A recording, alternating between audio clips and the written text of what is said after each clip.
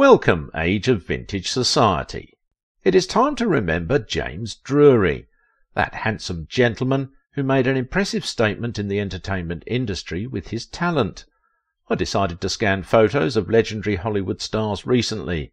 The moment I saw that black hat in a classic cowboy's swing and ostrich walking boot, I recognized him, the Virginian prodigy, and his boisterous life and career story. Why was James Drury riding ponies in diapers? I want you to know, my viewers, how much I appreciate your generous support on Patreon and your activity on the channel. These videos would not have been possible without you. Big thanks to those who watched the video until the end. James Drury, the positive definition of cowboy character. If there is one fantastic movie character I love so much for his charisma and independent nature on screen, it should be this enigmatic man of few words. Some say James Drury is naturally designed to fight for justice. At least that is what he portrays in that epic outing. They say he was a man with no name, but the Virginian. Yes, he was able to intelligently accomplish a mission of honesty and core values as an actor with a strong principle in life. His character did not have a name in the 249 official episodes of the show. What exactly did he do? For want of something to describe Drury, he was the no-name, straightforward foreman of the Shiloh Ranch on that series which happens to be one of the longest-running westerns in history. Displaying ninety minutes of action for every thirty episodes in a season, The Virginian no doubt had one of the toughest production schedules in history. In case the name James Drury did not sound familiar to you, you may be still very young around the 1960s when the first season of the long-running Western series began. Drury himself is one actor that had a lavish career, enjoyed an incredible insight into the art of movie making, and showed admirable respect for colleagues and friends. A lot of fans say Drury won their heart with his performance. He is no doubt an all-time favourite for lovers of Western series, especially the classic cowboy genre. When asked some years back about how he was able to achieve that very amiable fit, Drury told enthusiasts that actors are the same thing as magicians. Their job is to do a make-believe of reality, creating the illusion of reality. Drury once wrote an article detailing some sights and sounds about his life and revealing an interesting side of his personality that no one knew about. He is indeed one man almost everyone says lived by the cowboy code till the end of his life. I learned that this stunning actor was married three times, but only found his true missing rib in his third wife, Carol Ann Drury. The duo got wedded in 1979 and would remain in marital bliss until her demise. To take the bond to eternity, Drury followed his wife and lover to the ghostly world some months later. Everyone thought Drury made a perfect character for his role, which was why the producers picked him for that. He ran the ranch with his talent and was ready to dispel intruders at every point in time, an act he perfectly executed. There is also an indication that Drury tried his best to enhance the quality of the show. It almost severed his relationship with top studio executives, but most times his ideas came out successful and further made him a genius. Some of the areas of disagreement were not allowing the use of the costly camera crane and Universal Studio tours on set while the show was being filmed. James Drury was born in New York City sometime in 1934. His parents lived in the city, but his mother, Beatrice Crawford Drury, who is from Salem, Oregon, had little Drury frequenting her family ranch in Oregon. A regular summer holiday on the farm allowed him to learn a lot about ponies. He may have been brought up under strict academic conditions, being that his father, James Child Drury, was a New York University professor of marketing, the institution he later attended.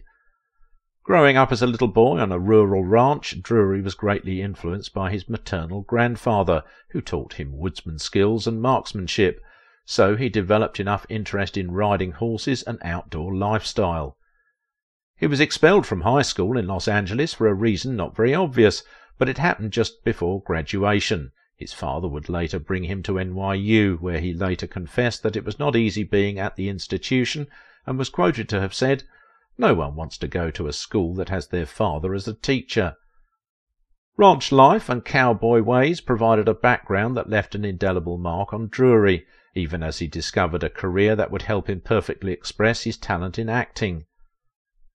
It seems he always wanted to take up acting as a career because at the age of eight he was said to have appeared as King Herod in a kids' Christmas production, and he liked it. About four years after, he made his first professional acting with the touring company of Life with Father.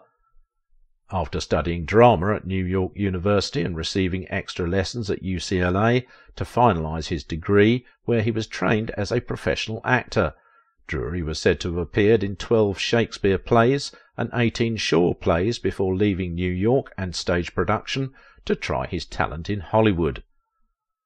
On arrival, he went to the movies with MGM. After signing with the studio, Drury had minor parts in Blackboard Jungle, Love Me or Leave Me, and The Tender Trap, all in 1955, plus Forbidden Planet in 1956. He probably did not fit into what MGM was looking for, or he had less confidence in acting at the time that he was let go by the studio after about a year. He stayed briefly with 20th Century Fox before moving to Universal. His stay with Fox Studio the following year saw him in movies with Elvis Presley and Pat Boone in their respective film debuts, Love Me Tender in 1956 for Elvis and Bernardine in 1957. After trying with little success in movies, his shift to TV western was just natural, as it made him utilize his enduring love of ponies, cowboy lifestyle, and the likes, which he enjoyed with his role as the Virginian. It is not surprising that his part in the production as the mysterious ranch foreman became the most remarkable thing about him. Some said the lesson he learned from his grandfather, who moved west by wagon train from Missouri in the 18th century, prepared him for this performance. Drury is also featured in some episodes on other shows like The Gunsmoke. As a way of recognition for his talent, he was inducted into the Hall of Great Western Performers at the National Cowboy and Western Heritage Museum in Oklahoma City. When he was invited to TV westerns, the casting directors asked if he could comfortably handle ponies, and he told them yes. Of course, that is one of the things he learned as a kid, so it would not be difficult for him. I'd been riding horses since I was in diapers, he was quoted to have said. As revealed by Drury in his article, almost all actors would say the same thing, but when the time comes they would ride off in all directions. He revealed that if the initial TV shows he did were successful, he would not have been chosen to be part of the Virginian story. He also recalled working with Lee J. Cobb as one of his best personalities that he would like to always be with, of all actors who appeared as the owner of Shiloh. Then for his favourite episode, Drury will always cherish The Mountain of the Sun, which saw Dolores Hart appearing as a missionary destined for Mexico. As luck would have it, shortly after recording that episode, Hart decided to say goodbye to the movie industry so she can become a Catholic nun. Drury hinted how he had driven her down to her new-found vocation thereafter. I drove her into a convent, he had said. He also would not forget an actor friend and co-star, another TV cowboy, Doug McClure, who appeared as Trampas in The Virginian. When the fellow died in 1995, Drury felt very disheartened because he was good and his right-hand pal in the show. Being someone he talked with about three times a week for nearly thirty years, he described his death as something that left a big hole in his life. Expectedly, Drury had time to visit Salem and reminisced about his childhood. He also shared his experiences about the town and how it contributed to who he became in life. A huge part of him will forever be grateful to Salem, the place he learned to ride ponies on his grandfather's 100 acre farm the same grandfather he behaved like in his The Virginian character role. His interesting adventure in acquiring skills as an outdoorsman and a marksman in the Ankeny Hill neighborhood would become his greatest career strength. A man that personally developed an interest in driving long distances and making a journey of about 1,120 mile drive from Kanab to Salem so he could meet a crowd of fans who mobbed their hero in a welcome gesture a man that has been smoking since he was eight must have had a practical policy on that because he goes downstairs to inhale his bum hip and harassing smokes. He still recalled how his father had given him a cigarette to light the bangers, and he tasted it secretly in a blast of air, then another. He enjoyed the feeling that later led to stealing cigarettes from his dad's pack until he was apprehended. While unwinding, Drury is often seen with his cup of coffee and the spiralling smoke from his cigarette, as the fag danced in between his lips as he talked, something that grew with him and became more than a habit. As most people would, Drury cherished talking about those refreshing memories, especially when he meets an elderly person who remembered the Virginian. He derived pleasure in discussing every scene of it as possible because it provided a kind of morale boost to his ego and makes my heart sing, he says. One interesting thing about Drury and his famous shady hat is that he rarely appears in public without wearing one, if what he says is anything to go by, there are about fifty such black hats in his collection. He ensured that he had them on at every public appearance, especially at Western events, jubilees, and autograph shows. This great talent is dearly loved by fans who would always gather to take a photo with him as necessary. The photos are usually free of charge, but an 8x10 glossy with his signature was available for $20, as his manager does not fail to bring several collections of that for fans to choose from. Drury is the opposite of what you will describe as mysterious, because of his level of honesty in interacting with fans and visitors. The reason his teeming fans will always need him to be as fresh as their usual gallant cowboy who rode into their bedroom on a white Appaloosa, that epic pony referred to as Joe D, and seized their hearts. An electronic adaptation of Owen Wister's 1902 novel with the same name, The Virginian, was prepared by decision-making producers Roy Huggins' team, including his son-in-law Frank Price, who later became Columbia and Universal studio boss.